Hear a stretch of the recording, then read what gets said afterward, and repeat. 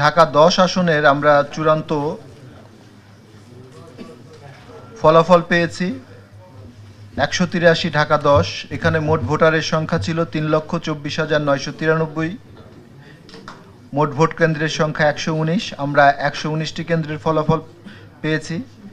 আমি এখন মানে চূড়ান্ত ফলাফলটা আপনাদের সামনে উপস্থাপন করছি। জনাব K M Shamsul Alam, national peoples party N NPP, আম প্রতীকের, উনি পেয়েছিলেন পাঁচশো ছিয়াত্তর। ফিরদৌস আহমেদ বাংলাদেশ আওয়ামী লীগের নৌকা প্রতীকের, উনি পেয়েছেন পঁয়ষট্টি হাজার আটশো আটানব্বই। Mohammad বাহারানে Sultan Bahar, Bangladesh nationalist front BNF television প্রতীকে, উনি পেয়েছেন দুইশো তেতাল্লিশ।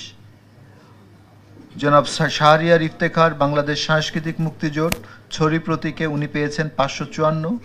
হাজি মোহাম্মদ শাহজাহান জাতীয় পার্টি লাঙ্গল প্রতীকে, উনি পেয়েছেন দুই হাজার দুইশো সাতান্ন। এখানে মোট বৈধ ভোটের সংখ্যা উনসত্তর হাজার পাঁচশো আটাশ বাতিলকৃত ভোটের সংখ্যা বারোশো সাতচল্লিশ, সর্বমোট প্রদত্ত ভোটের সংখ্যা সত্তর হাজার সাতশো পঁচাত্তর, প্রদত্ত ভোটের শতকরা হার একুশ দশমিক সাত আট পার্সেন্ট। একুশ দশমিক সাত আট ভাগ। এবং এখানে জনাব ফেরদৌস আহমেদ আওয়ামী লীগের নৌকা প্রতীকে উনি সর্বোচ্চ ভোট পেয়েছেন পঁয়ষট্টি হাজার আটশো আটানব্বই।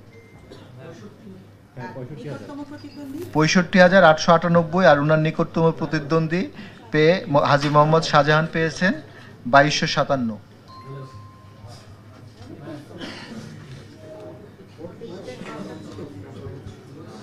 ভোট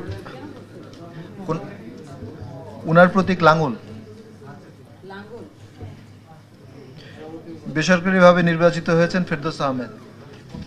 অটোমেটিক বিকাশ করতে সেট করুন অটোপে বিকাশ থাকলে আর কি লাগে?